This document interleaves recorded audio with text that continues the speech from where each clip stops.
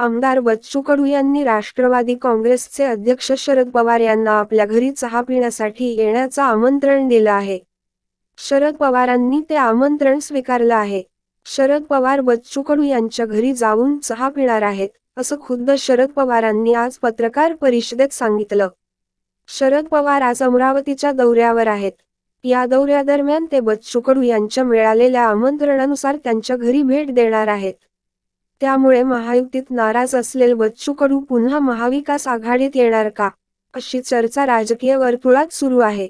याचबाबत शरद पवार यांना प्रश्न विचारण्यात आले.